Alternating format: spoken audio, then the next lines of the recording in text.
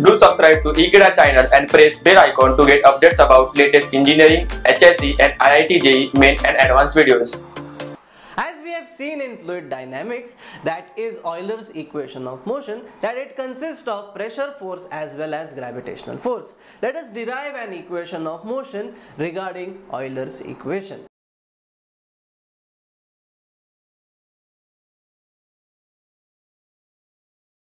Now in Euler's equation we have studied that is it is sum of force due to pressure plus force due to gravity is equals to mass into acceleration in that particular direction. So let us assume a control volume at some angle theta.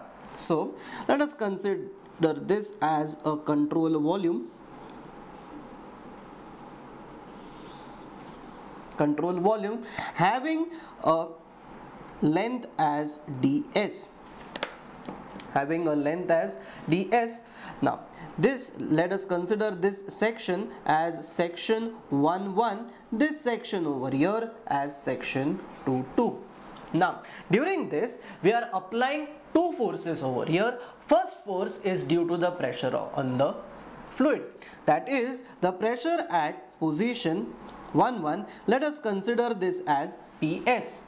Now the pressure at position 2 2 will be equals to P of S plus ds. Now why it is S plus ds? Because we are assuming somewhere over here there is one origin. From the origin the distance till section 1 1 is S hence the pressure over here is PS or the pressure at the inlet of that entire fluid and this is the pressure at the outlet at the entire fluid. So now we have considered what is the pressure force which is acting on the fluid. Now let us consider what is gravitational force. Now, you, now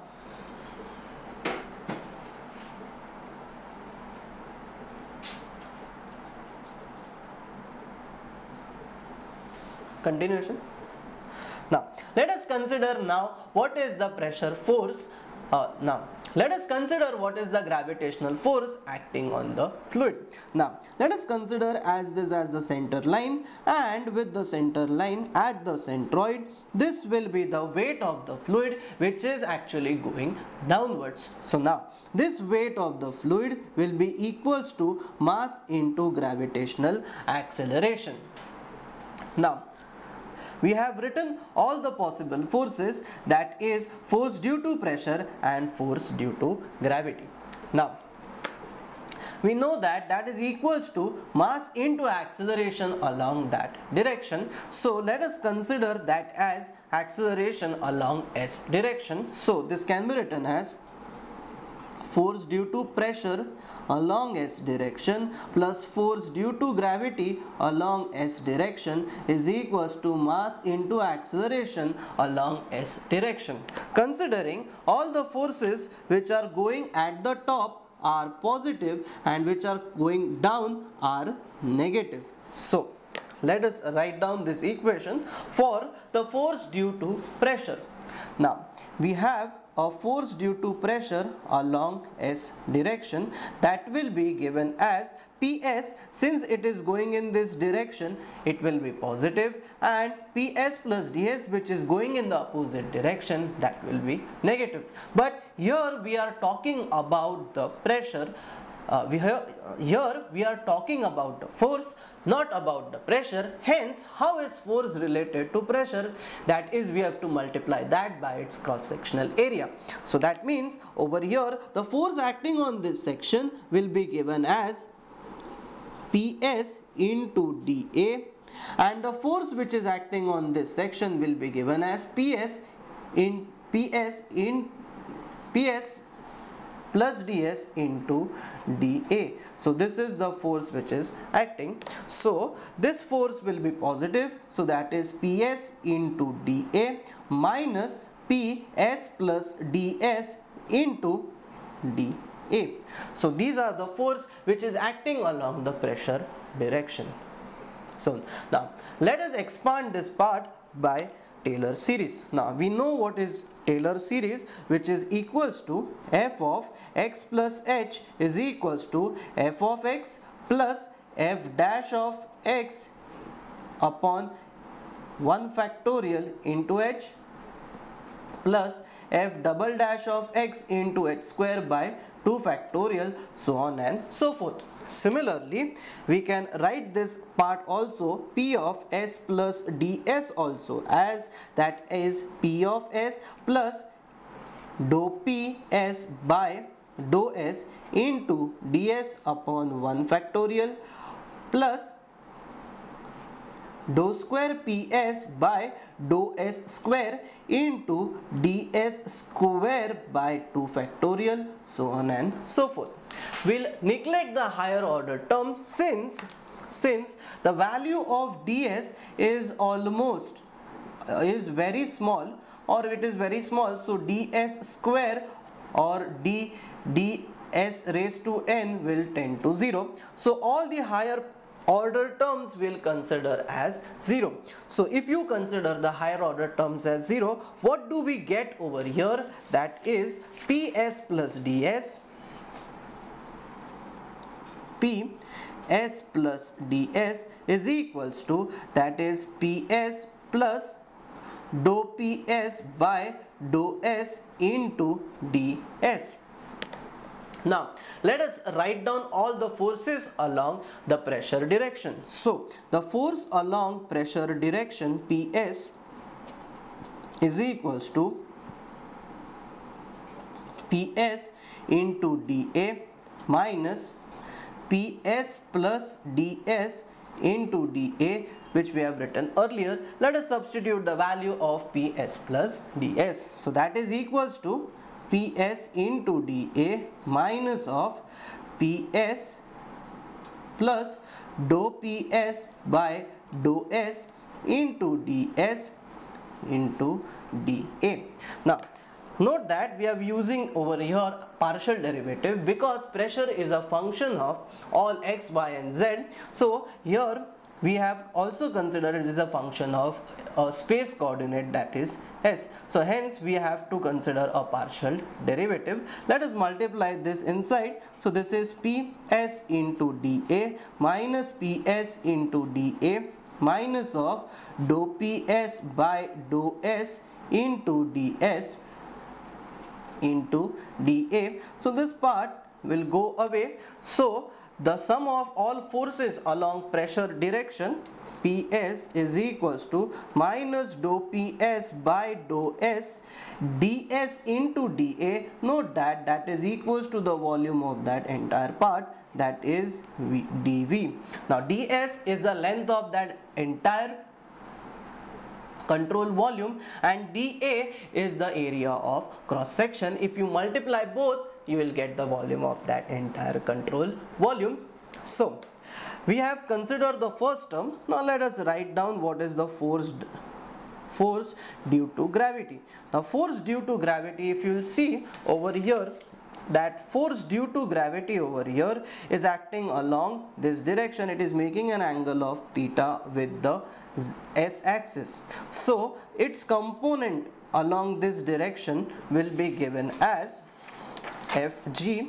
So the weight acting downwards is equals to m into g and it is making an angle of theta with the with the s axis. So over here this component over here will be equals to mg cos of theta which will be along which will be along this axis so this is mg cos of theta and this component will be mg sine of theta. Since we are considering all the forces along this direction that is along s direction we'll consider only one component that is mg cos theta and that is also going downwards hence it is negative.